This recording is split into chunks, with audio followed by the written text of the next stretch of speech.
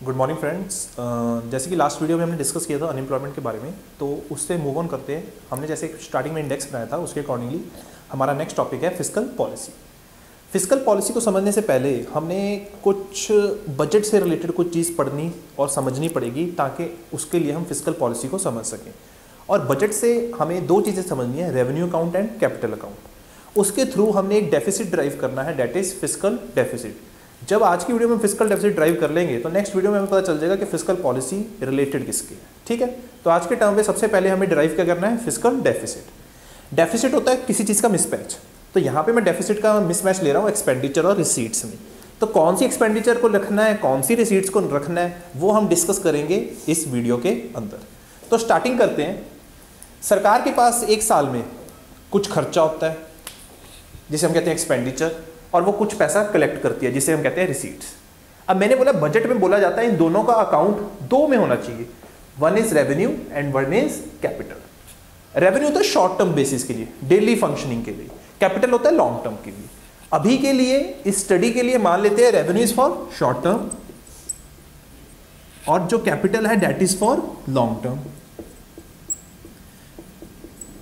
same in ways for receipts also तो आपको पता है कि हमारा रेवेन्यू एक्सपेंडिचर कौन सा होता है शॉर्ट टर्म बेसिस पे? लाइक like, हमें सैलरीज देनी होती हैं पेंशन देनी होती हैं ये लॉ एंड ऑर्डर मेंटेन करना होता है। कुछ हमारी सोशल सेक्टर स्कीम चलती हैं M G NREGA P D S system Ujjwala Yojana कितनी स्कीम्स चलती हैं वेलफेयर के लिए मेंटेनेंस ऑफ़ एसेट्स अब road banana that will come under capital expenditure क्योंकि वो एक इंफ्रास्ट्रक्चर है। बट उसके लिए जो रोज महीने महीने डेली बेसिस पे पैसा लगता है, उस रोड की मेंटेनेंस पे कई बार रोड टूट जाती है, उसकी मेंटेनेंस के लिए जो पैसा लगेगा that will come under revenue expenditure road की बनाने के लिए कैपिटल एक्सपेंडिचर रोड की मेंटेनेंस के लिए रेवेन्यू एक्सपेंडिचर सेम इंफ्रास्ट्रक्चर में आपने हॉस्पिटल बना दिया. हॉस्पिटल के अंदर मशीन आपका क्या है? कैपिटल एक्सपेंडिचर बट वो मशीन काम नहीं कर रही सपोज़ करो। उसकी किसी को बुला के इलेक्ट्रिशियन को बुलाना है, किसी को भी बुलाना है, और उस मशीन को ठीक करना है, या उसके अंदर कुछ चेंजेस लेके आने हैं, वो किसके अंदर आएगा? Maintenance of assets and come under revenue expenditure capital expenditure की बात करें तो इंफ्रास्ट्रक्चर या हमने किसी को लोन दिया है। हमने क्या दिया है? किसी को लोन दिया है। अब जब लोन दिया जाता है ना लोन क्या होता है? प्रिंसिपल अमाउंट होती है ना। जब हम किसी को लोन देते हैं तो कुछ टाइम पीरियड के लिए देते हैं। पाँच साल छः साल, आठ साल, दस साल, मैं वो लोन्स की बात कर रहा हूँ, या इंटरनल दिए हैं, या एक्सटर्नल दिए हैं। और वो पैसा कुछ साल बाद वापस आता है, इसलिए हम उसको क्या कहते हैं? कैपिटल कहते हैं लॉन्ग टर्म बेसिस के लिए। हमने पढ़ा ना कैपिटल क्या है? लॉन्ग टर्म बेसिस के लिए। तो principal amount of loan given to states और अदर कंट्रीज़ माने इंटरनल या एक्सटर्नल ये सब मिलके सरकार का क्या बनता है? एक्सपेंडिचर तो एक्सपेंडिचर के अंदर दोनों तरह का आता है रेवेन्यू भी आता है और कैपिटल भी आता है। क्लियर है बात? Next we come to receipt receipt मतलब सरकार के पास एक साल में कितना पैसा आता है? वही रेवेन्यू से आएगा या कैपिटल से आएगा? रेवेन्यू से कैसे आ सकता है? टैक्स बेस से आ सकता है या नॉन टैक्स से आ सकता है? टैक्स से पैसा कैसे आता है? इनकम टैक्स से कॉर्पोरेट टैक्स से जीएसटी से एक्साइज ड्यूटी से और कस्टम ड्यूटी से। क्लियर है बात हमें? नॉन टैक्स से कैसे आ सकता है? जो सरकार टोल लगाती है कोई फाइन लगाती है। या, अब मैंने कैपिटल एक्सपेंडिचर में बताया था जो हमने प्रिंसिपल अमाउंट दिए किसी को लोन की। दी थी वो किसमें आया था? कैपिटल एक्सपेंडिचर का। अब उससे हर महीने इंटरेस्ट भी तो आएगा। वो इंटरेस्ट किसमें आएगा? नॉन टैक्स रिसीट के अंदर।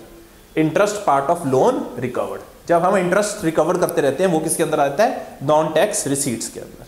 तो revenue receipts tax receipts and non tax receipts next we come to capital receipts capital receipts भी दो तरह की होती है। एक डेट होती है, एक नॉन डेट होती है। ये चीज़ बहुत ध्यान रखनी है। जितनी भी रेवेन्यू रिसीट्स हैं these are non debt non debt माने, एक बार हमारे पास ये रिसीट आ गई, हमें इसे रीपेमेंट करने की हमारे ऊपर कोई लाइबिलिटी नहीं। हमें इसे रीपे नहीं करना। बट अगर मैं बात करूँ कैपिटल रिसीट्स की, उनके अंदर दोनों तरह की होती हैं। डेट भी होती है और नॉन डेट भी होती है। डेट माने कैसे? किसी से मैंने लोन ले रखा है। है तो रिसीट ही। मेरे पास पैसा आया बट वो क्या है? कैपिटल हो गया ना क्योंकि बड़े टाइम के लिए लिए। Debt will be principal amount of loan borrowed non debt receipt कौन सी हो जाएगी? जिससे डेट क्रिएट नहीं हो रहा, पर कैपिटल है। जो मैंने लोन्स रिकवर करे प्रिंसिपल अमाउंट जो लोन्स रिकवर करें, और साथ में डिस इन्वेस्टमेंट जो सरकार कर ही रही है। अपने पीएसयूज में, अपनी शेयर होल्डिंग को कम करके पैसा इकट्ठा कर रही है, और वो किसके अंदर आ रहा है? कैपिटल नॉन डेट रिसीट्स के अंदर। इतना क्लियर है? तो उसको समझने के बाद एक फ़िज़िकल डेफिसिट ड्राइव करते हैं। किसी भी चीज़ का डेफिसिट होता है एक्सपेंडिचर माइनस रिसीट्स ठीक है? फ़िज़िकल डेफिसिट क्या होता है? Total expenditure minus revenue receipts क्योंकि ये क्या है? नॉन डेट है।